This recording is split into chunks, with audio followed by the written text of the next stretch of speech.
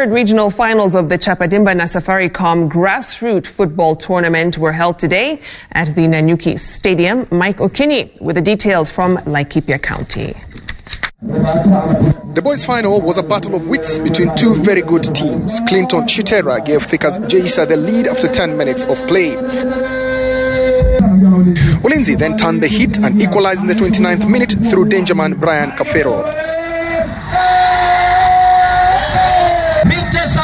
Three minutes later, they thought they had the lead, but the goal was ruled out for offside.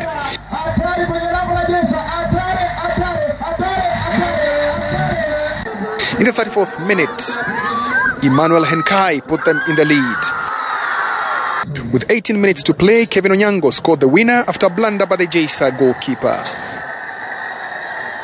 Nisema nitawafurahisha leo, nina imani kuwa sijawaangusha, sababu kila kitu kulingana na mipango yetu. In the girls' final, MVP Miriam Lutomia was off the mark first for defending champions Falling Water, formerly known as Barcelona Queens. Top scorer Jen Jerry made it 2 0 in the 66th minute.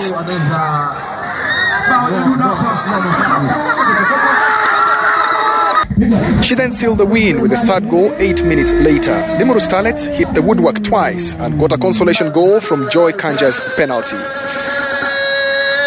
Game ni 90 minutes. Then kuwin lazima mcheze venye mmetrain, lazima mcheze system yenu. Unless mstiki kwa system yenu mtapoteza. Ulinzi Youth and Falling Water will represent the region in the national finals in Mombasa later in the year. With three regional finals already played, focus now shifts to Machakos for the next regional finals in February. Mike Okinyi for Citizen TV in Nanyuki.